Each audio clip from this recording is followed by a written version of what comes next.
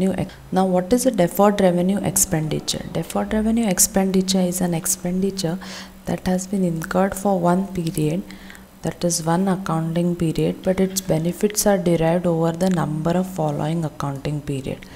Okay, so the expenditure is incurred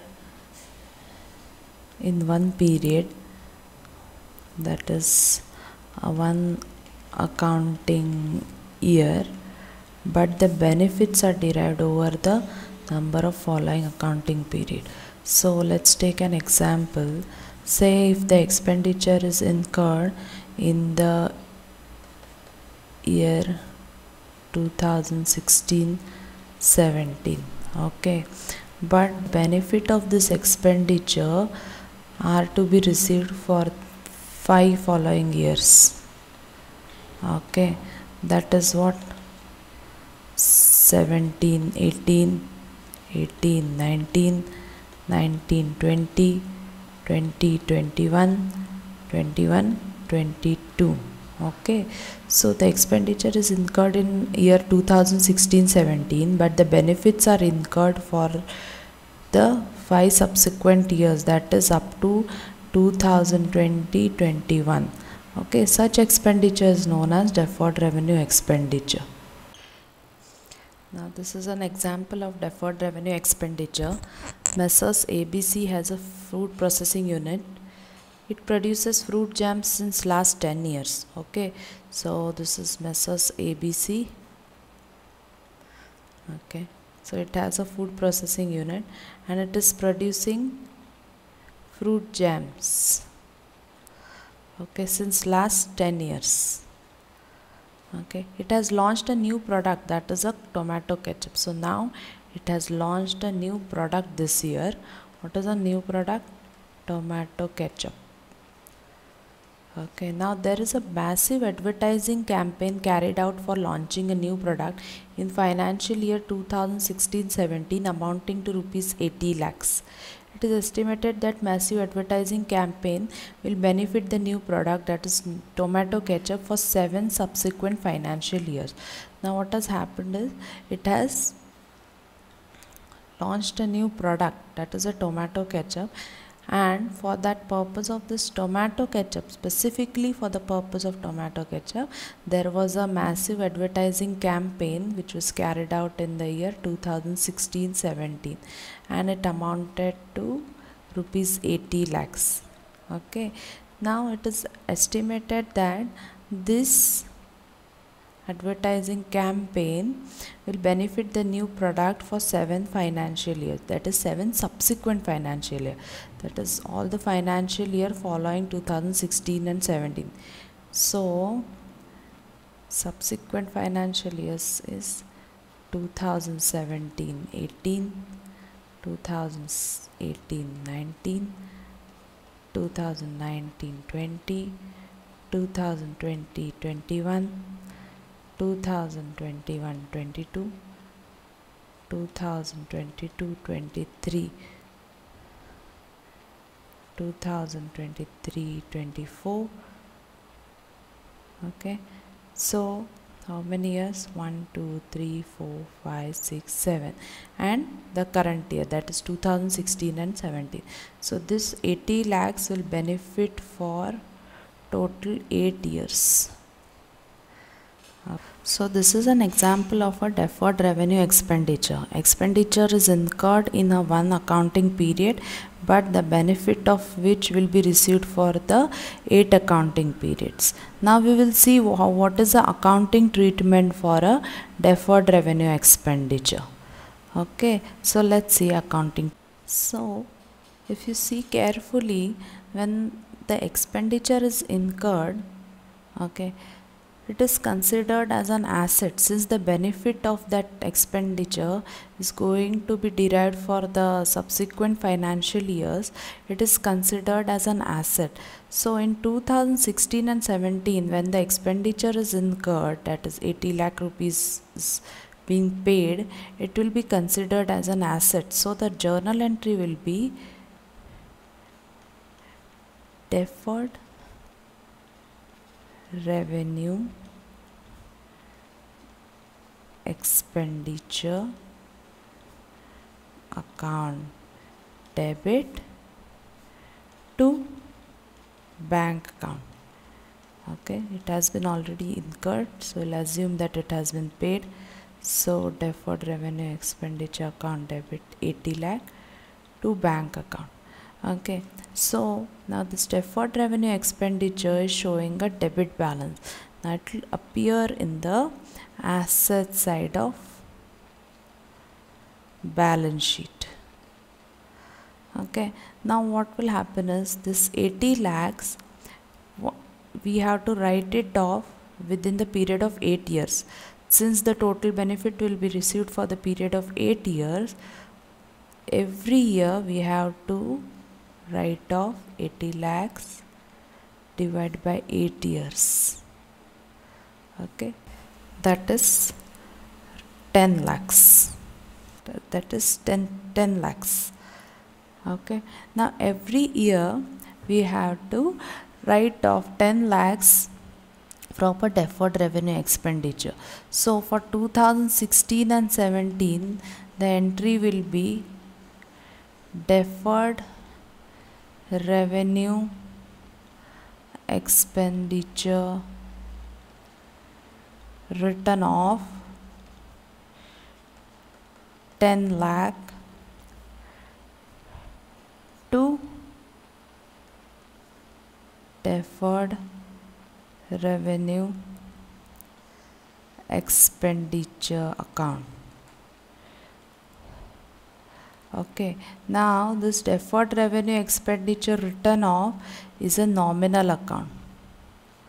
Okay. Nominal account. And at the year end it will be transferred to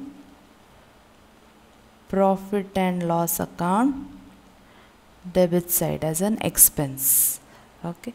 And this will appear in the balance sheet asset side so every year the balance in the deferred revenue expenditure asset that is this account will be reduced by 10 lakhs.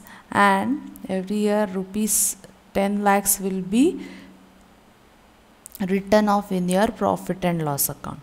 This is how you treat deferred revenue expenditure or the accounting treatment for the deferred revenue expenditure. Okay now let's see the difference between a deferred revenue expenditure and prepaid expenses okay? So we have taken the same example Messrs ABC has a food processing unit. It produces fruit jam since 10 years. It has launched a new product that is tomato ketchup. There is a massive advertising campaign carried out for launching a new product in financial year 16-17 amounting to rupees 80 lakhs and it is estimated that the massive advertising campaign will benefit the new product that is tomato ketchup for 7 subsequent financial year. Okay, now Messrs ABC has also paid in advance advertising expense for fruit jams. Okay, amount of expense paid is rupees 6 lakh for printing advertisement in newspaper for the period Jan 2017 to December 2017. Now, this is a financial year 2016 and 17 that is from April 2016 to March 2017. Now, if you see we have taken the same example Messrs. ABC it has two products. One is fruit jams and the other one is the new product that is launched that is tomato ketchup. Now if you see the tomato ketchup we have already seen the example that there is a massive advertising campaign and it is going to be benefited for 8 years okay? So 80 lakhs has been considered as a deferred revenue expenditure.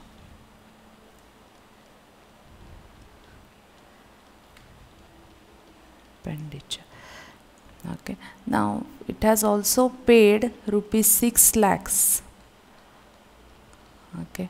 As an advance for uh, advertising its fruit jams okay? So specifically for advertising fruit jams it has paid rupees 6 lakh and the amount is paid for the period of Jan 2017 to December 2017 that is for the period of 12 months okay? Now if you see the difference between the two expenses that are being incurred. So what has happened in case of fruit jams the rupees 6 lakhs has been paid to a newspaper agency okay for printing an advertisement. So there must be some contract or agreement for printing an advertisement of fruit jams okay for 12 months. So what will the newspaper agency do? It has taken rupees 6 lakhs and from jan 2017 to december 2017 it will print the ad okay of jams in newspaper okay. So the expenditure has to be bifurcated between this period that is Jan 2017 to December 2017 so for 12 months so per month the expenses will be rupees 50000 okay. So for the financial year 2016 and 17 that is for from Jan 2017 to March 2017 the expenses will be 1 lakh 50,000 for 3 months. Okay. This will be considered as an expense advertisement expense in your profit and loss account debit side. Okay. Whereas expenses incurred from April 2017 to December 2017 okay so that is how much? 50000 into 9 months. That is 4 lakh 50000 will be considered as a prepaid expenses prepaid advertisement expense. And it will go to your balance sheet asset side okay for knowing the detailed accounting treatment of prepaid expenses you may refer to that video on the prepaid expenses okay now, if you see the difference between a deferred revenue expenditure and a prepaid expenditure, the difference is that the prepaid expenditure has been paid but not incurred. Okay. Now, as on 31st March 2017, if you see that printing ad of jams okay. Now the news agency will keep on printing the ads even in the next subsequent years. So whatever are the advertisement printed till march 2017 the benefit of that is not going to be derived beyond march 2017 okay. Whereas in case of your deferred revenue expenditure what has happened is the expenditure of 80 lakhs has been incurred okay there was a massive advertisement for launching of a new product. So there may be some newspaper advertisement there may be some sample distribution also. There so that benefit of massive advertisement are going to be ben the benefit are going to be received for the eight subsequent financial year. Now this eight subsequent financial year is ultimately an estimation. It may be more than eight, it may be less than eight also. Okay, so every year it's necessary to review whether the benefit of this advertisement is been received or not. Okay, so that is the main difference between the deferred revenue expenditure and the prepaid expenses. Prepaid expenses the expenses are paid in advance but not yet incurred. Okay? Whereas in case of deferred revenue expenditure the expenditure has been incurred as well as paid but the benefits of the same will be received in the future. Okay? So this was about deferred revenue expenditure. Thank you